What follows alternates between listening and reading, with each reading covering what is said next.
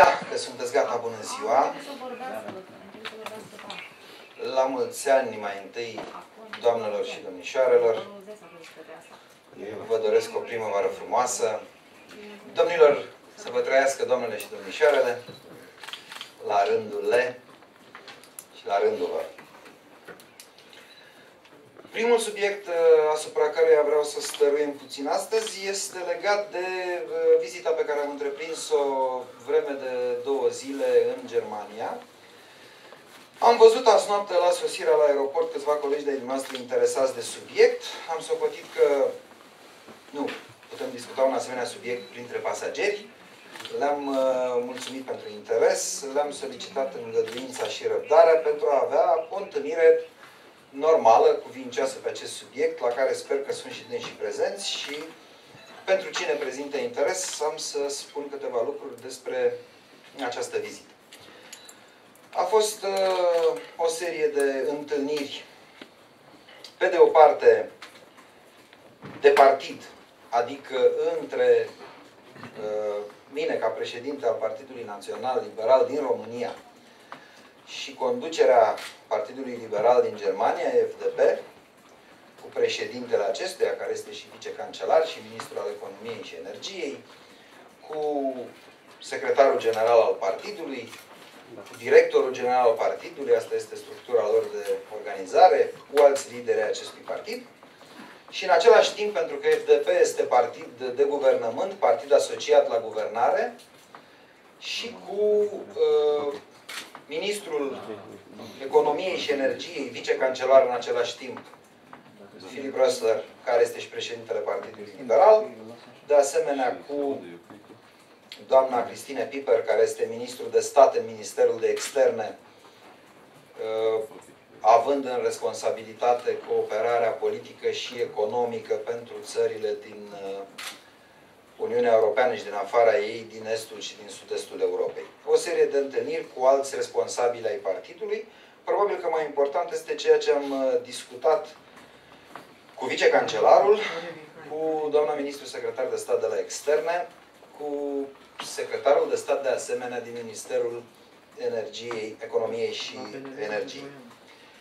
Pe de o parte, pe linia partidelor noastre, noi am uh, discutat despre întărirea colaborării și am uh, examinat și niște documente, draftul unor documente, unui document politic pe care să-l semnăm cât mai curând pentru un parteneriat accentuat între cele două partide.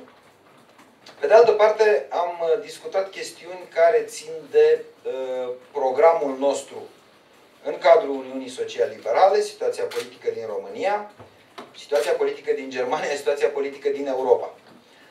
Am pornit de la premiza că FDP este un partid, cum spuneam, de guvernare în Germania, cel puțin până în toamna lui 2013.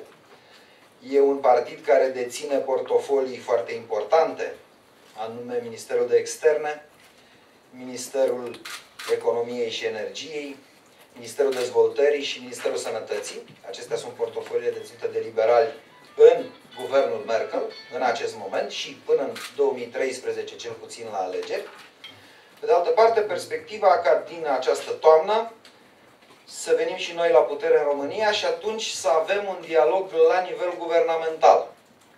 Ideea ca cele două partide să facă ceea ce le stă în putință pentru ca relațiile bilaterale ale Germaniei cu România, mai cu seamă în plan economic, să fie intensificate, să facem ceea ce ține de noi uh, dânsii de pe acum, pentru că sunt la guvernare, noi din momentul în care vom veni la guvernare, pentru ca, în primul rând, contactele demnitarilor de rang cât mai înalt, germani și români, să fie mai intense, pentru ca la nivelul mediului de afaceri să avem uh, discuții și poate proiecte cât mai concrete, pentru ca, în fine, în uh, perspectivă europeană, pornind de la conjunctura pe care cu toții o cunoaștem și încercând să evaluăm evoluțiile viitoare, să avem poziții cât mai apropiate de susținere reciprocă.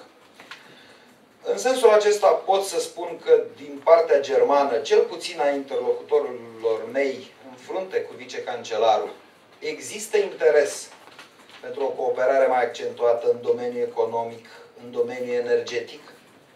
Germania este, cum știți, uh, prima putere economică a Uniunii Europene. Este o țară cu interese și cu posibilități în domeniul energetic deosebit de vaste. Sunt și ei într-o fază în care trebuie să reevalueze strategii. Numai uh, decizia pe care au luat-o după ceea ce s-a întâmplat în Japonia de punere în paranteză, ca să spun așa, a surselor nucleare de energie, îi face să caute dezvoltarea altor posibilități. România are evident și ea interese și potențial în această privință, deci câmp de cooperare foarte concret există. De asemenea, chestiunea pentru noi foarte interesantă a întreprinderilor mici și mijlocii legate de domeniul industrial și de capacitățile de producție industriale, poate să fie, este, poate să fie și poate fi exploatată în convergența uh, cu ideea germană, ideea economică germană, că totuși șansele de revigorare ale economiei europene, șansele sale de creștere, dincolo de măsurile de austeritate, țin în primul rând de ceea ce înseamnă capacitățile de producție și de producție industrială. Am vorbit despre austeritate, am vorbit despre sănătate, sănătate bugetară, am uh, făcut cunoscut uh, partenerilor germani, cunoscute lucruri despre realitatea din România sub acest aspect. Pentru că nu toți, chiar responsabilii guvernamentali europeni, știu cam care a fost amploarea măsurilor de austeritate din România. Uh, nu toți știu că, de departe, în România, măsurile de austeritate au fost cele mai dure și nu prea știu deloc că aceste măsuri de austeritate au fost puse doar pe umerii celor de jos. Că în România cheltuielile publice nu au scăzut, ci au crescut. Că în România birocrația nu a scăzut și nu a fost atacată legislativ, administrativ sau în orice alt fel, ci a crescut. Că, în fine, în România corupția nu e o poveste din timpul regimului de până în 2004, ci este o poveste dureroasă, actuală, la nivel fără precedent. Toate lucrurile acestea, sigur că sunt importante și noi le facem pentru că în momentul în care vom prelua guvernarea României, noi trebuie să avem parteneri informați în legătură cu intențiile noastre, cu programele noastre, cu politicile noastre și în legătură cu realitățile de la care plecăm în România. În sensul acesta, după întâlnirea cu vicepremierul britanic Nick Clegg, după această întâlnire cu vicecancelarul german și cu ceilalți reprezentanți ai familiei politice liberale aflate la guvernare, vom continua acest demers, fiecare, sigur, pe familia lui politică, pentru a închide, măcar la acest nivel al cunoașterii intențiilor și realităților, un cerc de informare la nivelul Uniunii Europene. Mă opresc cu acest subiect aici. Dacă sunt detalii pe care doriți să le aflați, vă stau la dispoziție.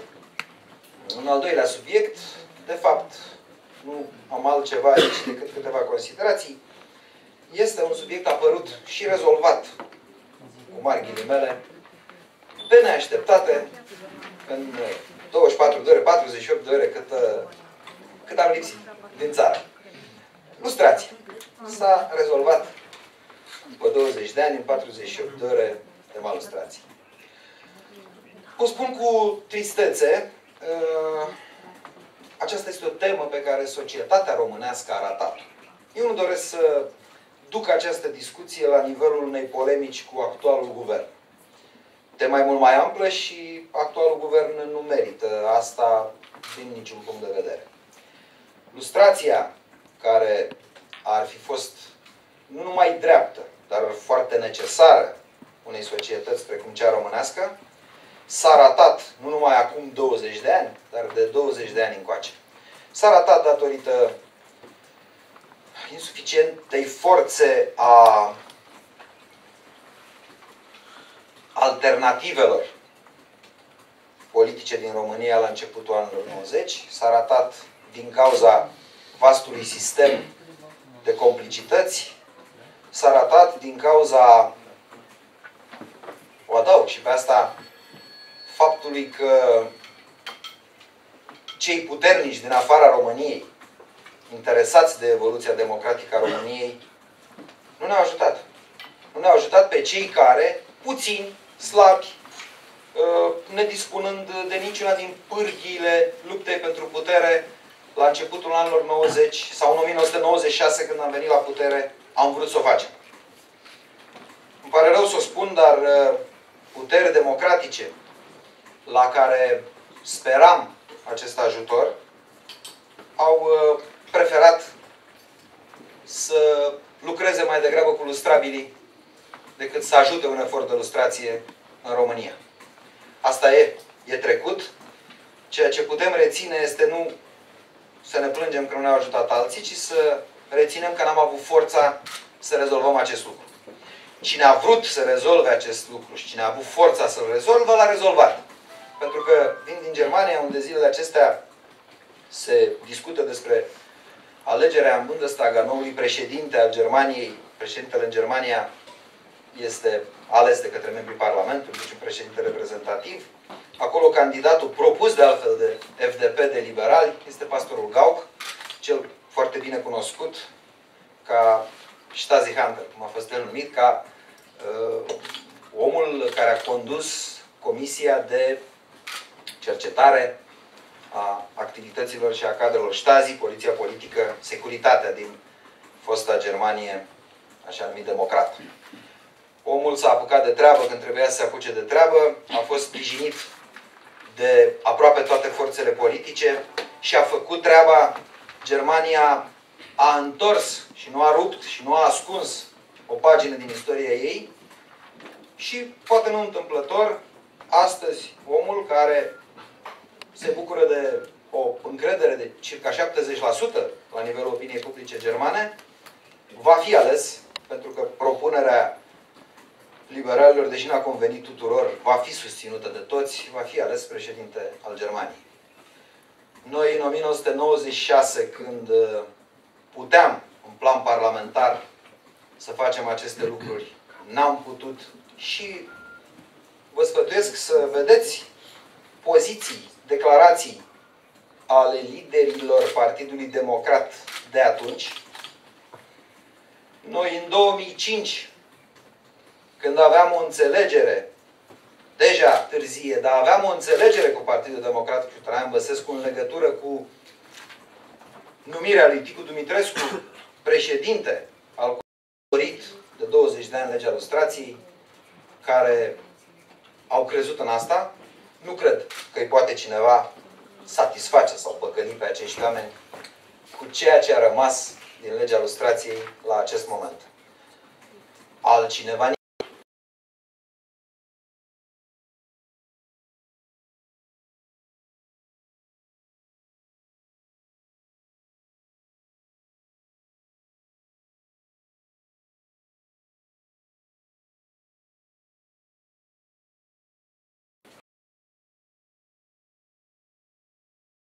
subiectul. Eu în casă nu am un elefant, ceea ce ar fi fost un subiect.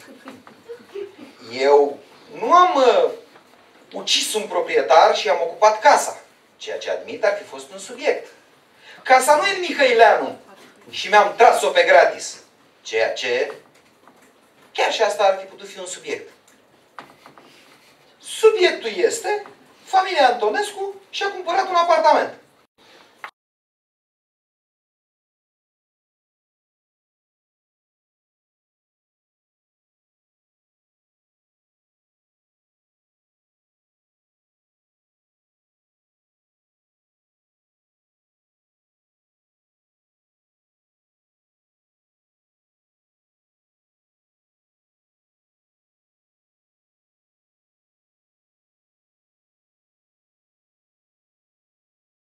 Suntem cu...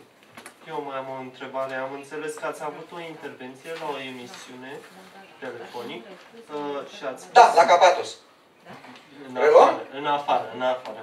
Ați În afară. spus uh, ceva legat de jurnaliștii de la evenimentul zilei că nu ar trebui să profeseze în continuare sau... Dacă Nu. ați putea să ne lămuriți... uh, Păi de ce să fac eu munca dumneavoastră? Vreau să sunteți jurnalist. Ați auzit că eu am spus ceva? Vedeți ce am spus. Că eu n-am spus în șoaptă la ureche unui prieten în garaj. Eu am spus pe un post de... Nu știu de unde emitea domnul Moraru. De la o televiziune, la o radio, de pe internet. Nu știu. Eu am spus public. Ce am spus eu? Am văzut comentarii frumoase. Că amenințări de dictator. Flata. La un post care îl iubește așa de tare pe Băsescu, este un compliment. Deci, ce am spus? Mă întrebe pe dumneavoastră. Păi, în, Ia să vedem. Înțeleg că ați uh, precizat că jurnaliștii de la evenimentul zilei care au scris despre acest subiect ar trebui să nu mai exercite această profesie. Dar credeți că eu sunt așa naiv? Nu am spus asta. Eu, eu asta cred, dar n-am spus asta. am spus. Vă rog frumos, haideți că e public. Eu am spus că jurnalismul are niște reguli. Pentru că, de pildă, nu m-am mai plâns de chestiunea asta, repet, asta e asumată. Ești în România, ești în realitate. Am spus că, de pildă, până și demnitarul are și el niște drepturi. Da, discuția, averea mea. Dar n-ai niciun drept să-mi dai adresa. Da? De pildă. Uh, Da, discuția averea mea. Dar nu faci tu evaluări și pui titluri care n-au nicio legătură cu realitatea. Regret că n-am o proprietate de milioane de euro. N-am posibilitatea să o achiziționez. Poate mai ajută Dumnezeu. Dacă sunt sănătos, nu știu. Dar toate astea sunt minciuni, n-au de-a face cu jurnalistica, iar eu am spus, fac o excepție pentru dumneavoastră. Nu sunteți drag, nu sunteți drag și vă fac munca încă o dată. Dar e munca dumneavoastră să căutați declarația aia cum e și să mă citați acum. Domnule, ai spus cu tare lucru. Nu! Am auzit că ați spus nu știu ce. Dar, fire bună, Nu știu unde e. prietenos, având în vedere că e 1 martie și nu doar domnișoarele trebuie să se bucure de asta. Vă spun ce am spus. Ultima oară, sau poate maximum la 1 martie anul viitor, mai puteți încerca chestia asta. Am spus că cei de la evenimentul zilei, dacă doresc să respecte meseria de ziariști, ar trebui să-i respecte regulile. Pentru că înțeleg, momentan nu prea mai sunt ziariști. Dar, am zis eu cu o formulă populară, în momentul când va înțărca bălaia, s-ar putea să vrea să revină la meseria de ziarist așa cum se face ea. Și atunci va trebui să-i aplice regulile. N-am spus că n-ar trebui să o mai facă, n-am amenințat pe nimeni. Nici nu știu dacă va înțărca bălaia vreodată. Am zis și eu așa, ca popor. Da, În discuțiile cu partenerii germani, a așa. discutat și problema Serbiei, Sunteți, am serios. Poftiți? problema din Serbia, aderării Serbiei la Uniunea Europeană. Nu, n-am, uh, n-am uh, ridicat eu acest lucru. Uh, A apărut în discuție. Pentru că au fost multe discuții și subiectele au fost diverse. De exemplu, și partenerii germani doreau să știe multe lucruri despre opinia publică din România, în raport cu tratatul de stabilitate fiscală, în raport cu ceea ce unii acuză a fi uh, preponderența germană sau cu o formulă dură a unui englez al patrulea Reich cu uh, tot modul cum e percepută în România soluția germană sau soluția europeană pentru Grecia. Cu modul în care România este afectată, dacă este afectată de criza din Grecia. Inclusiv subiectul acesta care era proaspăt cu Serbia a apărut, sigur, în discuțiile uh, care s-au purtat. Ei exprimând o ușoară nedumerire legată de faptul că România a fost, a vocalizat, să spun așa, multă vreme, uh, melodia pro-sârbească. România a fost mai apropiată de Serbia. Amintiți-vă doar episodul recunoașterii Kosovo. Da? În România a făcut figură distinctă. Fiind oarecum surprinși acum că după ce în fine toți ceilalți au depășit tot felul de, uh, mă rog, obstacole în calea unui, aproape unui consens pe ideea pornirii pe drumul integrării Serbiei. Pentru că, atenție, acum noi nu discutăm de integrarea Serbiei, imediat drumul e lung și Serbia are multe de făcut. Au fost un pic uh, surprinși de chestiunea asta. Eu N-am putut face altceva, neavând nici toate datele problemei și, sincer, fiind la rândul meu surprins de poziția de care am luat act, să le spun că, într-adevăr, motivul pentru care România are rezerve este un motiv corect. Și anume că minoritatea românească din Serbia trebuie să se bucure de niște drepturi mult mai mari. Că România este o țară model prin generozitatea asta legislativă și practică în raport cu minoritățile și că în această calitate are tot dreptul moral și politic să ceară și partenerilor săi, să ceară și altor țări din Uniunea Europeană, aspirante la Uniunea Europeană sau vecine cu Uniunea Europeană, aceeași măsură. Ce cred eu pe datele pe care le am este că ar trebui odată și odată să învățăm și să facem în politica externă un lucru pe care îl fac și alții. Să ne fixăm obiective și căi pragmatice pentru a le atinge. Dacă Germania a avut niște probleme și a avut niște probleme mai serioase cu Serbia, s-a opus cât s-a opus, s-a arătat rezervată cât s-a arătat rezervată, între timp l-a negociat și când l-a rezolvat, e de acord. În momentul în care România are niște probleme, niște interese, absolut legitime, repet, ar trebui ca noi să găsim, diplomația românească să găsească, nu dau eu lecții, că repet, nici n-am toate datele problemei, vă spun însă ce cred, ca să nu vă las fără răspuns, să găsească modalitățile pragmatice de a rezolva acest lucru. Pentru că dacă eu, când toată lumea recunoaște Kosovo, nu-l recunosc, e dreptul meu. Iar după aia când toată lumea zice da să vină Serbia, eu zic stați să ne mai gândim, sunt într-un anumit contratimp eu. Nu Serbia. Cred că tehnica este să găsesc momentele de consens și de forță care să funcționeze și în atingerea intereselor mele. Fără îndoială însă că procesul acesta va continua, fără îndoială că România are timp destul pe parcursul pe care Serbia îl are de străbătut până la integrare să rezolve aceste probleme și uh, cred că aceste probleme trebuie rezolvate. Tot la această întâlnire, um, spuneați că v-ați întâlnit cu Ministrul Economiei, ați vorbit de planul de investiții concrete în România?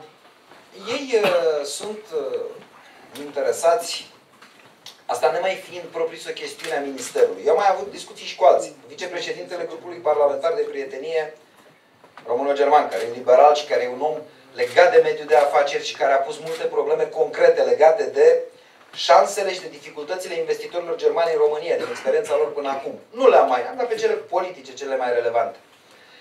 Chestiunea asta nu e a Ministerului, e mai degrabă a mediului de afaceri. De exemplu, ei sunt interesați, ca să dau un exemplu, de faptul că în România o țară cu potențial hidroenergetic spectaculos, semnificativ, chiar spectaculos. Ei ar fi interesați de investiții, de, de, de forme prin care, de exemplu, să construiască, simplu spus, mici hidrocentrale, să le spun, vorbim de bani, care să deservească arii relativ restrânse, conferindu-le autonomie energetică, oferind niște posibilități de a scădea beneficiarul actual de energie costurile de transport care sunt actualmente și care să fie, evident, convenabile și rentabile. Nu intrăm și n-am intrat în detalii, pentru că asta sunt concrete. Eu vorbesc tipologic, de un tip de investiție care s-ar putea face. Sunt interesați, de data asta la nivelul Ministerului, de ce are de gând să facă România în raport cu privatizări posibile și potențiale inclusiv în energie. Tema o cunoașteți. Uh, sunt de asemenea interesați uh, și destul de performanți în materie de energii regenerabile și din punct de vedere tehnologic și investițional au capacitatea și au și interesul de a uh, veni într-o piață ca România, care este remarcabil de mare, care este în interiorul Uniunii Europene, ce e, ce e important pentru Germania în acest moment, dar avem eternele probleme. Nu nivelul taxelor pe profit, nu legislația în sine, ci respectarea în practică acestei legislații, continuitatea și predictibilitatea legislației și mai ales continuitatea comportamentelor uh, autorităților. Că e vorba de autorități locale, că e vorba de autorități guvernamentale. Simplu spus, omul vine și spune, domnule, dacă vin, negociez, închei un contract, nu vreau ca dacă se schimbă primarul sau dacă se schimbă ministrul sau cu tare secretar de stat, să nu mai fie bun ăla și să începem iarăși o altă negociere, pentru că nu e convenabil pentru timpul și pentru banii mei.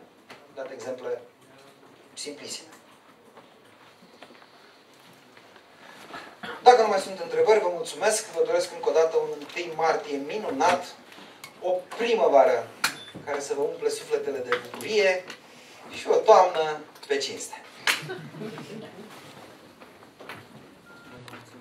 Cu mare plăcere.